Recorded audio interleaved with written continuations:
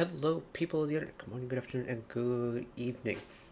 Friday night recording session once again because it is Friday, and I am still on a mission to complete the Fromis 9 discography. So, it's a two day album, uh, the Dugan Dugan era album.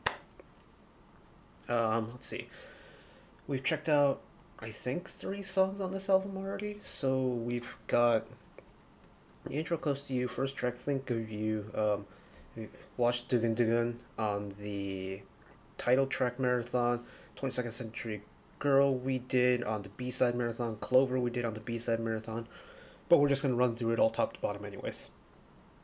Makes it a lot easier for me, and yeah, we'll just go along with it. Um, forgive me if I like look really uncomfortable on occasions. I kind of inhaled pasta a little bit too quickly, and I've got heartburn. So we're off to a great start tonight. But here we go. Also, it kind of panned out really nicely because I needed a little bit of a pick me up today. While it wasn't like too like nothing too serious. It, uh, if you've kept up with K-pop news today, you'd know about Uju Sonya and well, I've never had a group where literally both of my biases left. So it's it's kind of an interesting time for me. But I'm glad Uju Sonya are still going to be active in some capacity because goddamn do they deserve it. And but this isn't about Uju Sonya. That's for a different day. We have Fromis content to get to. And uh, an intro, again, which I feel like we haven't had an intro in recent albums, right? It's mainly been an older albums thing. But based off of Dugun Dugun and based off of the To. Heart album and the Glass and Glass Shoes, probably more light-hearted stuff again. And uh, kind of like youthful innocence in a way in terms of the lyrics and the music. So, let's jump right into it.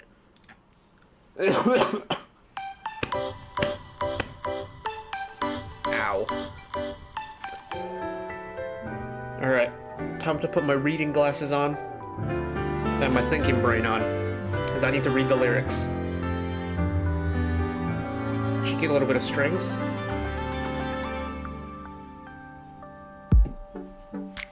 바라만 봐도 좋은 너. 넌 나에게 그런 존재야. I was expecting a 지칠 틈도 melodic top 없이, line. I wasn't expecting 외로울 the 틈도 없이 narrator knockout to come in. 실수 Okay. 없이 날 기쁘게 해. 자꾸만 웃음이 나와. 무슨 말을 할까? 그때도 이렇게 웃기만 하며 시간이 다 지나가 버리면 어떡하지? 그래도 난 너라면 다 좋을 것 같아. The lyrics again giving off very heavy teen romance vibes, I feel like. 나 마음이 간지러워서 잠도 잘 못 잤어.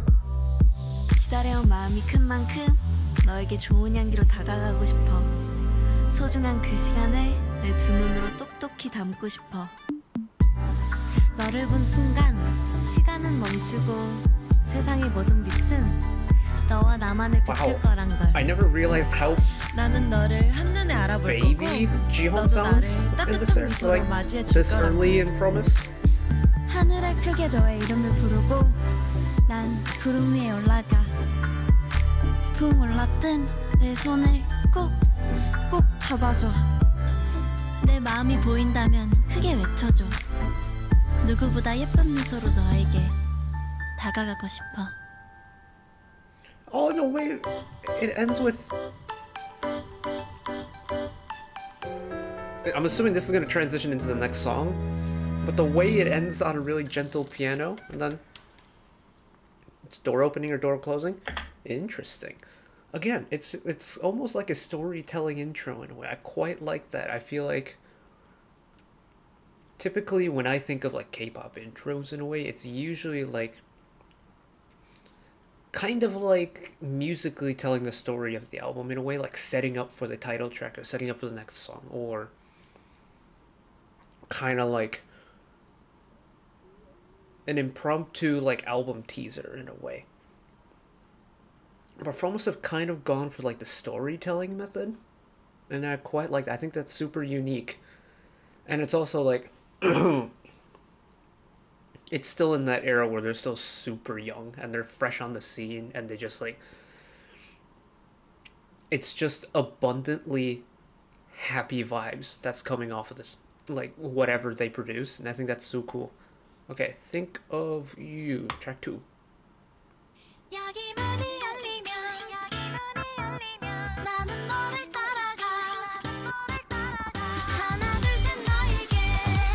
my goodness.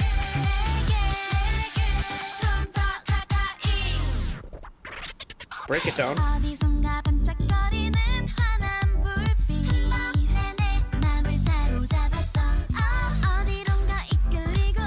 Bass on's kind of going nuts.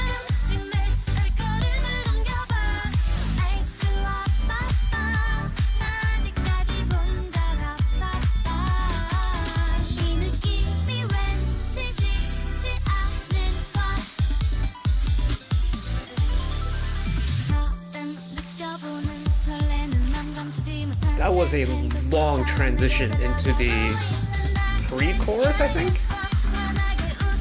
Very rarely you get a transition in between the verse and the pre-chorus.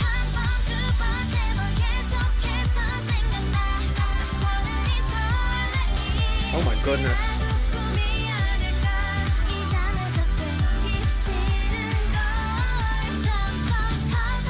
This is sugar laced pop music right here. This is like diabetes inducing sweet oh my goodness.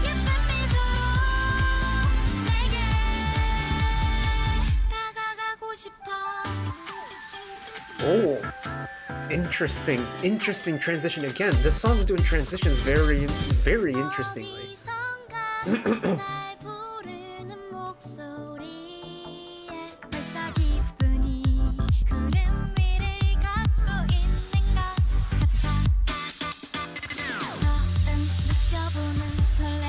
transition this time into the pre-chorus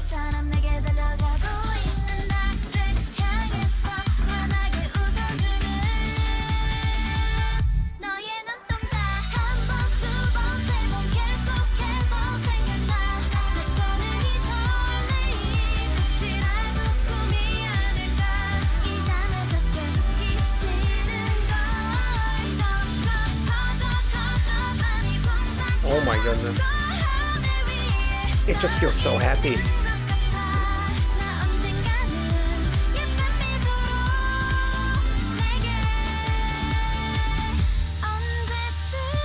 Key change. Okay.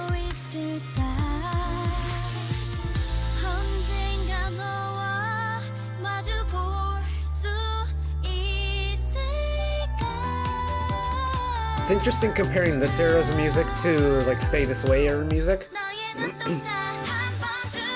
because like you can almost tell that there's like they're still a little bit nervous about singing.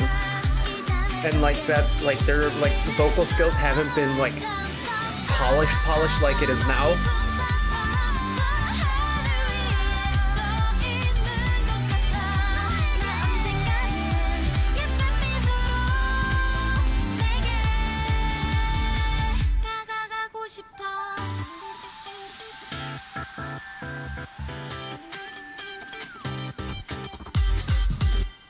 Nice outro there as well. Ooh, okay. Woo. This one's kind of interesting because this is kind of exactly what I expected this to be, but it's also not exactly what I expected this to be because it's the youthful energy of early Fromis music is like you, have you ever had those times where say it was like a special occasion. It was like your birthday a friend's birthday or whatever and you get a cake from the supermarket. And this pertains particularly to my american people out there but when you eat into it and it's just sickly sweet like you can just feel not taste but you can feel the sugar that's laced in like the sponge the frosting the cream they've used in between the layers. Like you can feel all the sugar as you like eat the cake Fromis's music in this specific stage is so like sweet. It's almost like I don't know why, but think of you I wonder if it's because I'm comparing it to the title track, because the title track doesn't come across as like sickly sweet to me in a way. I should probably stop using that analogy, but like it's abundantly like bubblegum pop song. The title track doesn't feel that way. Like this is extremely like bubblegum pop music. And I think it's like a notch even more bubblegum pop music than probably I think so far I would say this is probably the most like sugary bubblegum pop song that Fromis had released.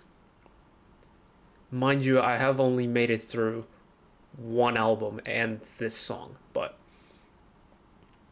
interesting because this is like I think this is more bubblegum pop music than the entire To. Heart album, and that was pretty. That was a pretty high energy like album in its entirety. Interesting style choice to open the album with this. But then we get to the title track. Also interesting choice putting the title track second. They had a filler track in between the intro and the title.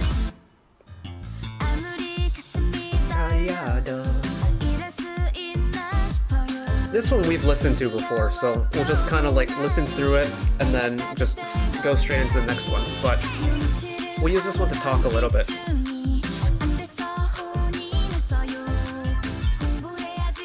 I also clocked that this is going to be the new Fromis lineup moving forward, isn't it?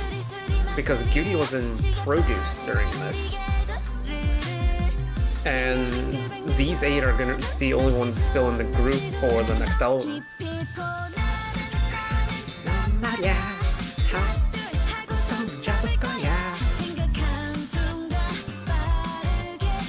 Yeah, this one doesn't come across as bubblegummy as the last one did.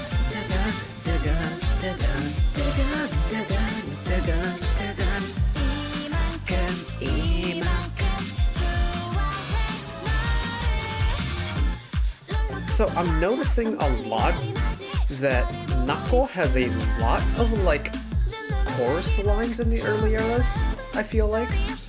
Kind of like the last bar or two of the chorus. Was that a common thing back in the day, or is that just me like overanalyzing it?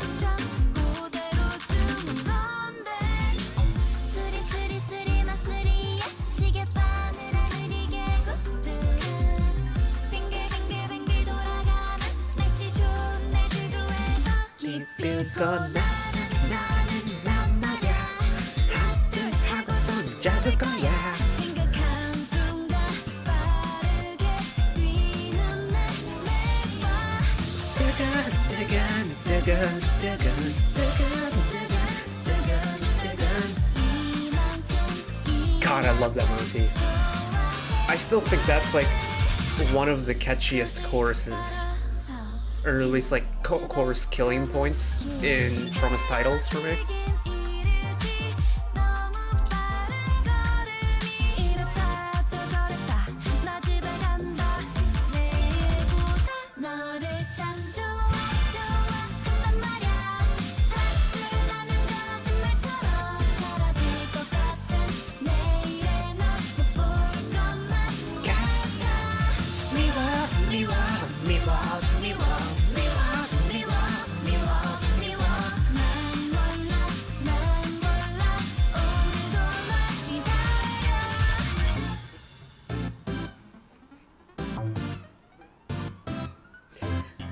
Still can't get that rhythm down with, with how the synth kicks in.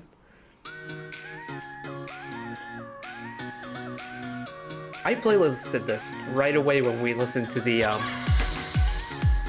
uh, did the B-side marathon because I quite enjoyed this. This reminds me a lot of like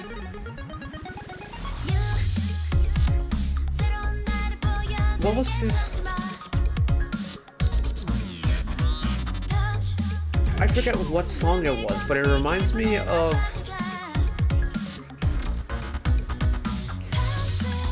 it feels like what a video game version of there was a group I had in mind, but I just forgot the name of it now. Oh gosh.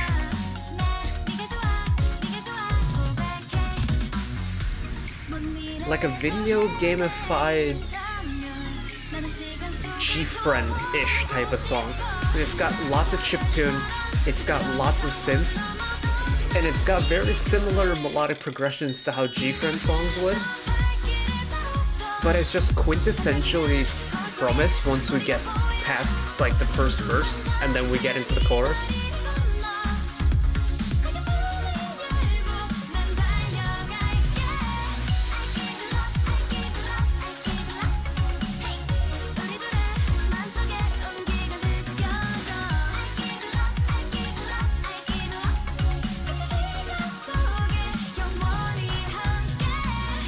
Nako and Jiwon on the uh, head voice flips in that chorus.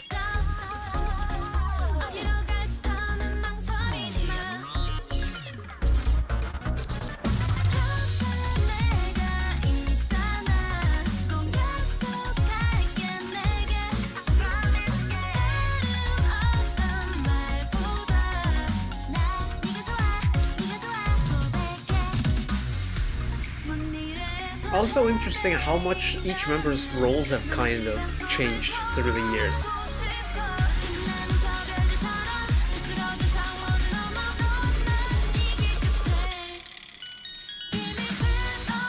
Because I feel like Jisun to Jiheon, like those five members on the right, their roles have changed a lot compared, like now compared to this era.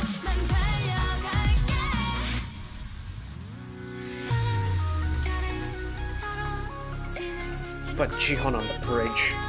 So good. Her voice fits so well on the bridge. Like, some people's voices are just suited to the bridge. Like, Twice as Mina is one.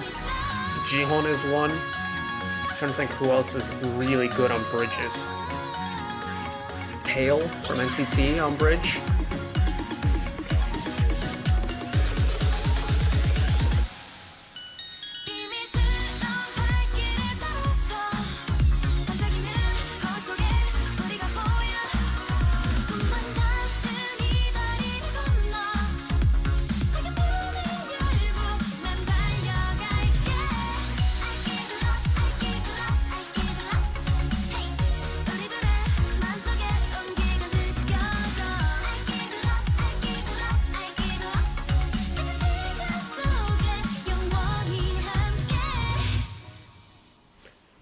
Was just about to say that interesting that Hayoung hasn't had like the amount of high notes that she has now, but I was corrected at the very end. So I retract that statement.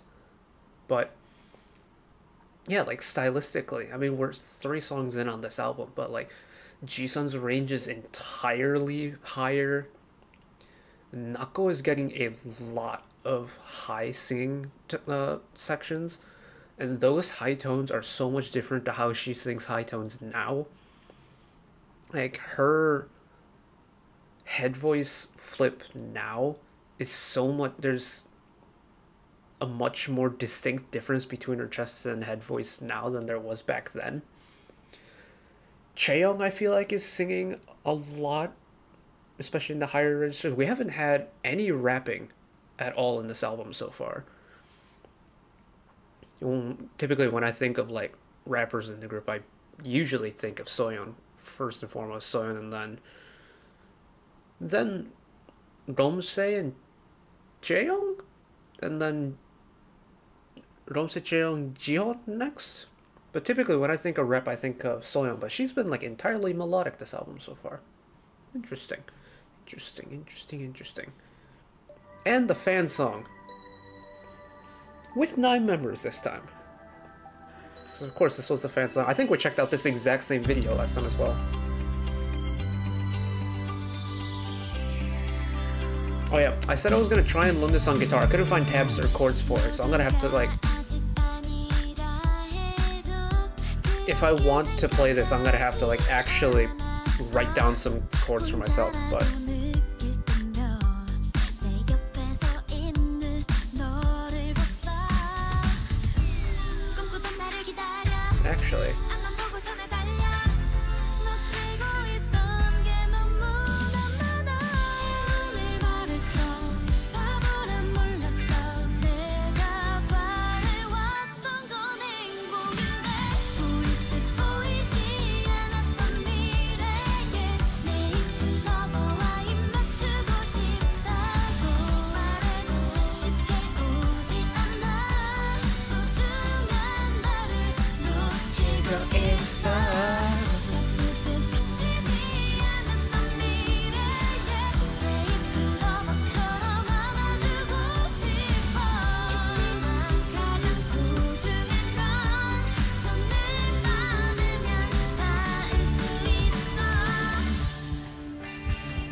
figure out the course for this. Hold on.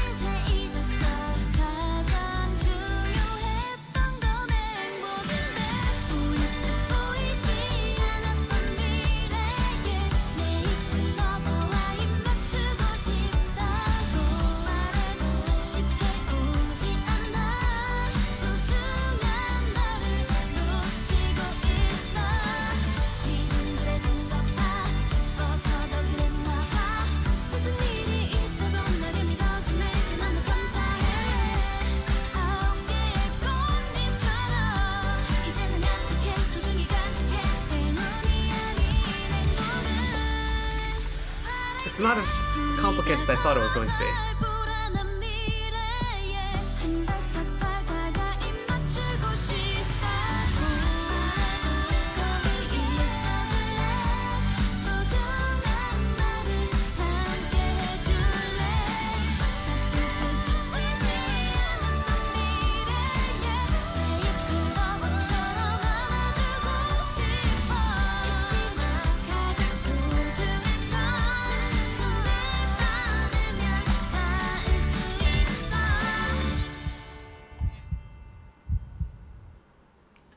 Guitar's out of tune. I'm kind of surprised that I for, I don't know if I mentioned this, but I'm kind of surprised that Fromis 9 did a fan song this early. Because this would have been, let me actually go check very quickly. Um, so the two-day album was June 2018. Their pre-debut single was November 20. So this was six months, roughly, after they started, like promoting in a way, and they already had a fan song out. That I feel like is really quick. Like, again, I don't really have much in terms of reference material to compare off of, but I feel like a fan song within six months is pretty quick. But I'm not knocking it at all. I quite enjoy it. In fact, I think in terms of the B side, it might be my favorite B side on the album so far. Mind you, we do have one more song left to check out, but I really do like the melody of this song. It's so sweet and it's so happy and it's so genuine and it's it's like what I'm gonna use this these two songs as reference material because it's got that kind of like what I kind of call symphonic pop in a way, you know, heavy on the strings, heavy on the kind of classical uh musical like techniques and music theory elements here and there. But I feel like this would be the type of song that sits right in between Oh My Girl's fifth season and Secret Garden. It's like fifth season is pretty quick and it's like it's got a lot more modern elements to it. Secret Garden is super slow and it's super melodic and it's kind of relying on like the sweeping feel of like the string instruments. I feel like if you took those two styles together, combined them, and then split them right down the middle, you would get Fromis 9's Clover. It just it has that feeling to it, and I love that. I love I love symphonic pop music. It's so cool. It's like bringing my two joys in music together. And then you add on like a little sprinkling of harmonies to it. Oh, it's it's the perfect formula. But thank you for dealing with me and Mike. Hopefully not incessant guitar playing, but I believe this is the last song on the album. It is. Like the acoustic guitar. No ballads yet, though.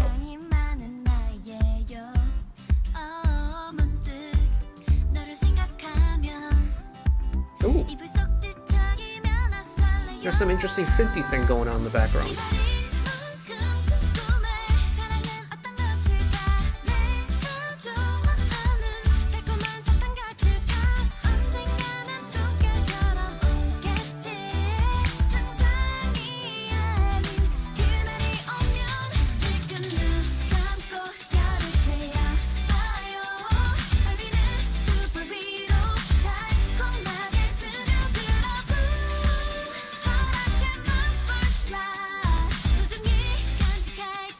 Jiwon's voice just cuts clean through everything. It doesn't matter how much like how much instrumental is going on in the background. It just pierces through everything. That's so cool. Because there's a lot of like vocalists that can sing really high, but Jiwon's voice is just crystal clear. Kind of terrifying, honestly.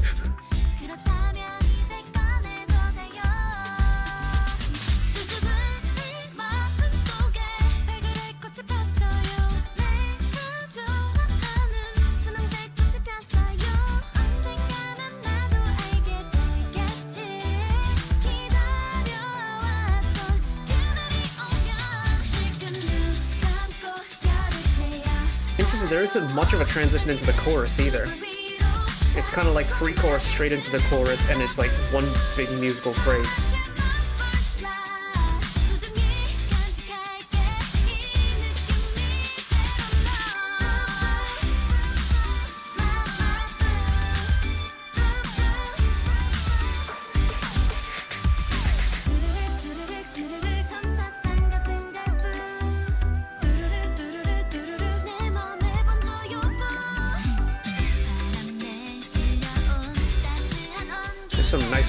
Ooh, nice chord progression here.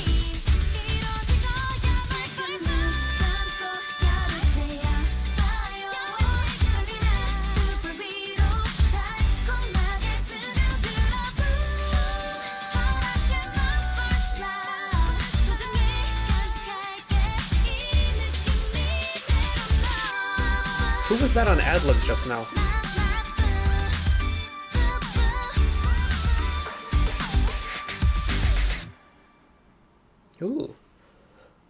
I had a thought I wanted to say. But then that final chorus happened and that kind of went out the window. I was going to say that speaking of like role changes, they were treating Jiwon as like main vocal, main vocal back in the day. And that's really interesting because I feel like that role has shifted a little bit now it's like I guess back then main vocal duo was kind of like Nako and Jiwon. I'd still put Jiwon in as main vocal back in this era with Hayoung and Nagyung kind of like not even like lead vocal but like sub main vocal kind of in a way. And then you had like Jisun on lead vocal. Could have had Soyeon on lead vocal because Soyeon just does everything. Who didn't get a rapping verse in this album I noticed. Interesting. I'll have to keep an eye out on when she starts to switch into the rapping uh, Soyeon later down the road. Because I feel like because I kind of worked my way backwards with Fromis, like my first era was Stay This Way, and then I found DM, and then I found, oh, I guess I knew Love Bomb, but like when I truly started to like break into Fromis 9 music was from our Memento box and then airplane mode. So it's like we're going back through the eras, and then with this deep dive, we've been starting from the beginning. So we're getting like the freshies from us, and now we're getting to like junior year and senior year from us. So I'm kind of, I've kind of read the back of the book and started from the beginning, which I think is okay. But there's definitely some clear differences I'm seeing here.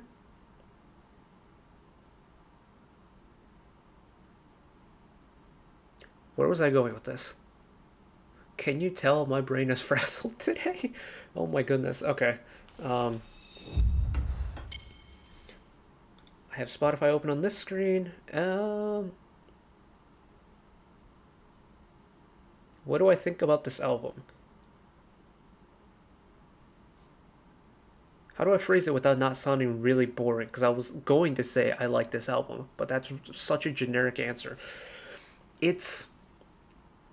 There's some interesting stuff going on with it. I think the progression of energy throughout the album is really interesting because the intro you kind of don't know where the album is going to go, and then, well, I kind of have like what do you call it? What you, if you want to call it insider knowledge on the album just based off the title track. But that that first song before Dugun Dugun, Think of You was so high energy. It was like that was a lot.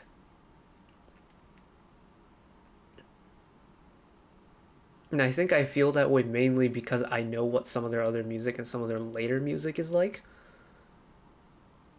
Especially the title track. You already know my opinions about Dugun Dugun. I don't think Think of You is a bad song. I quite like it in kind of like a guilty pleasure kind of way, but I think I need to be in a particular mood for it because it's a lot for me to listen to. 22nd Century Girl is a great song. Clover is really good. I still think Clover is my favorite song on the album. Oh, if I had to choose one that wasn't the title. And then First Love surprised me a little bit. Mainly because, like, I'm looking at the streaming numbers on it, and it does not. It has, like, less than a half the streams of Clover. And, like, 700,000 less streams than Think of You at the time recording on Spotify. But I wonder if it's kind of like the late album uh, curve kicking in because not many people stream the later uh, songs on an album. They just kind of stream the main ones, and that's about it. But I quite like First Love.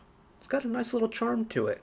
It's a little bit like much like kind of like Clover was. Like you started with you started the album with the intro, and then you went super high energy, like high energy you essentially had a sugar rush on the first song and then it started to peter away but it never fully like resolved itself. Like it was still fairly high energy with like clover and first love. Nothing compared to the beginning of the album. But we haven't had like a proper album rounding off ballad yet from Fromis which is really interesting to me.